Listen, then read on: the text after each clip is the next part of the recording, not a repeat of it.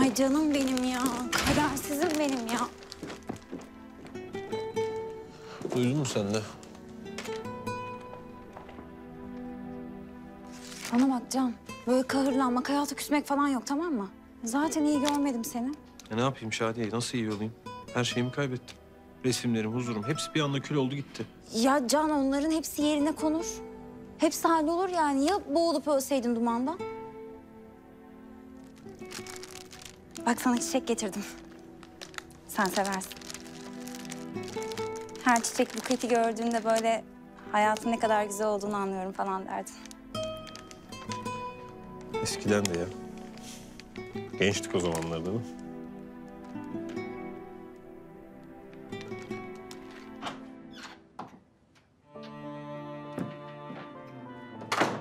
Uyandın mı? Uyumadım ki. Denizciğim. Hadi kalk bir tanem. Hadi gel. Bak çay demledik. Yanına çok güzel şeyler aldık. Hazırladık sofrayı. Bir lokma atıştıralım. Hadi gel bir tanem. Hadi. Karnım acıkmadı ya. Aa, olmaz öyle.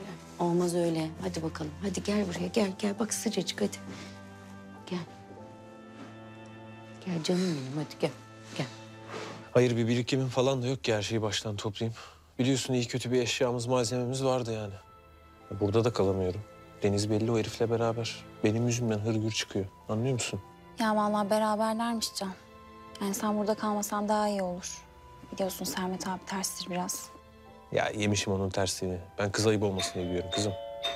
Neyse zaten bulacağım bir yer. Bir kafayı toparlayayım. Hala şoktayım ya. şunu.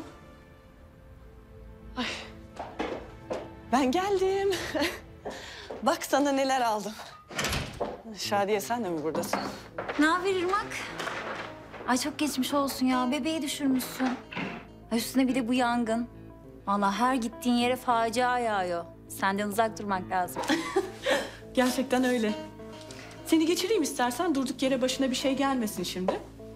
Güvenlikten sana taksi çağırırlar. Selam söyle sizinkilere. Ben seni ararım Can. Bir yer bulacağım ben sana. Tamam sağ olsun.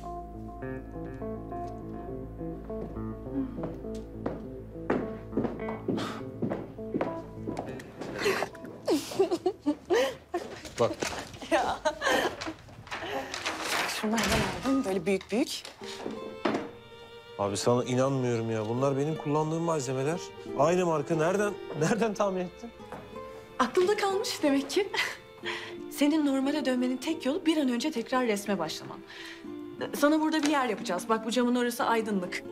Yok olmaz ya. Saçmalama. Burası sizin eviniz. Olur mu öyle şey? Can şu anda burası bizim ikimizin evi. Ben atıştırmalık içecek bir şeyler ayarlayacağım. Sen de kuruluşu, sehpaları falan kullanabilirsin. Bir saat içinde seni tekrar çalışıyor görmek istiyorum tamam mı?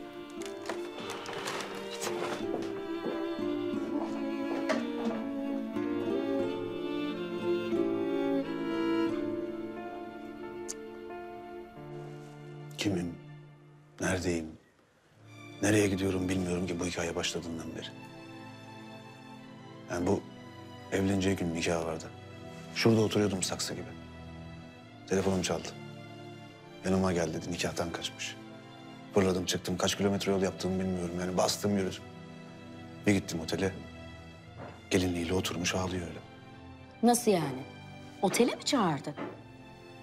Bir gelişi vardı. Deniz abla nasıl oldun? İyi misin biraz daha?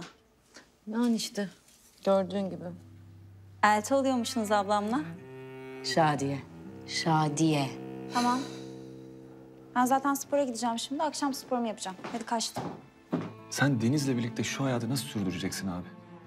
Bana bunu anlatır mısın? Yarın öbür gün Deniz'in arkadaşlarıyla birlikte bir mekana gideceksin, partiye gideceksin. Ağzını burnunu kırdığın adamların elini mi sıkacaksın sen? Söyler misin bana? Ya da rüşvet verdiğin bir bürokrat senin evine gelecek. Sen de Deniz'in kocası olarak buyurun hoş geldiniz, buyurun yemeğimizi yiyin diyeceksin. Deniz, sen bu adam nasıl para kazanıyor biliyor musun? Hı?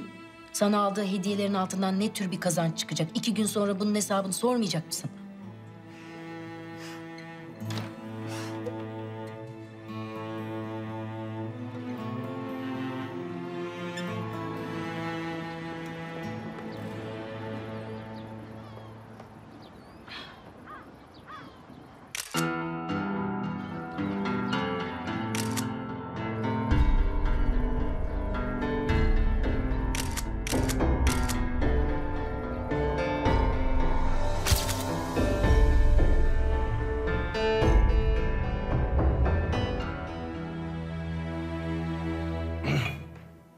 Bak abi cana taktın daha şimdiden.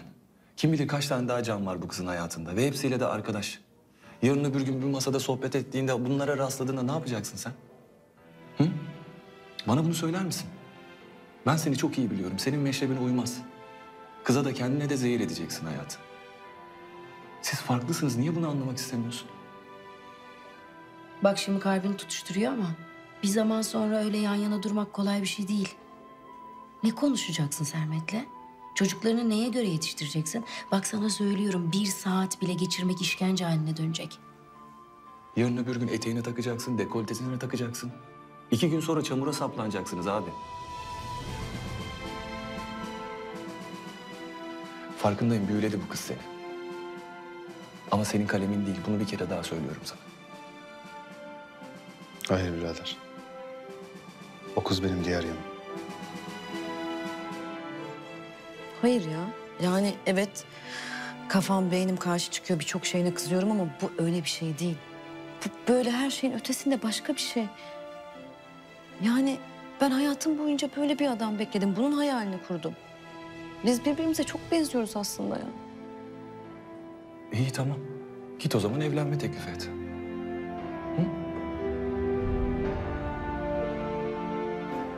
Ettim.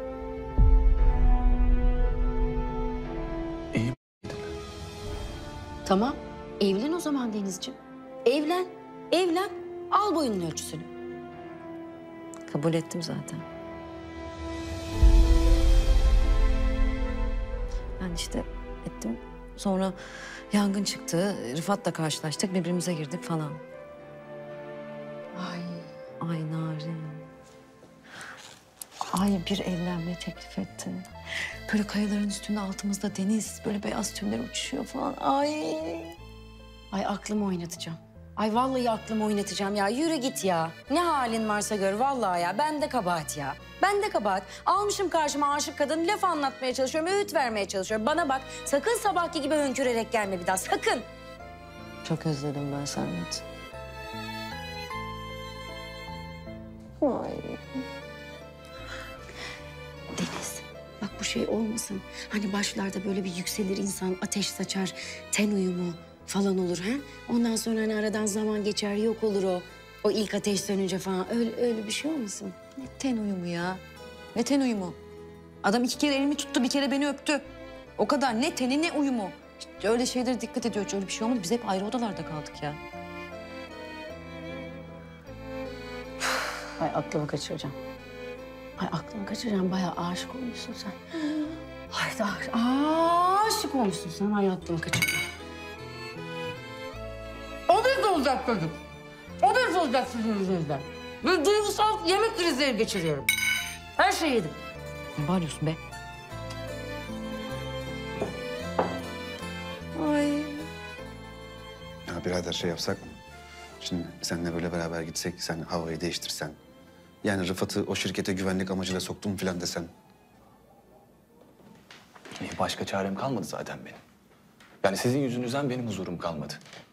Sizi barıştırmadan ben rahat edemeyeceğim ki. Deniz Hanım da zaten benim yatağımda yatıyor. Kendi yatağıma giremiyorum ya. Yalnız şey olmasın ha öyle hani Sermet dayanamadı da gittik falan filan havaları esmesin. Vay vay vay vay vay. Merak etme. Ben seni zaten eve döve döve sokarım. Kimse de hiçbir şey anlamaz. Benim zorumla gelmiş gibi gözükürsün. Allah Allah ya.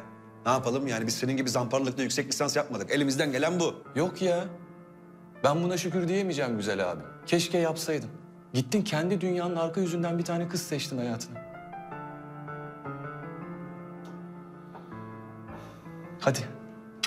Kalk gidelim ben seni döve döve sokayım içeri. Tamam tamam kalkarız. Hadi. Benim seninle bir şey daha konuşmam lazım. Ne? Ya ben güzel bir yatırım buldum. Ne işi bu? Nereden çıktı şimdi? Ya iyi bir yatırım. Hatırlar mısın bir ara seninle gittiğimiz bir restoran vardı Minyon diye. Oranın sahibi vefat etmemiş miydi? Yani işte rahmetli olduktan sonra karısı işleri herhalde tek başına yürütemiyor. Geçen gün o bizim yatırım danışmanı aradı. Böyle böyle bir iş var gider misiniz diye. Ben dedim Fırat'la bir konuşayım olursa ortak gireriz. Bakarız abi. Hadi senin şu işi halledelim önce kalk. Hadi. Konuşuruz hadi. Ali nerede? Üstümü falan değiştirsem mi ya? Ya gerek yok hadi abi. Ha bir dişimi falan fırçalayayım lan? Ya Allah Allah. Kanalımıza abone olarak tüm videolardan anında haberdar olabilirsiniz.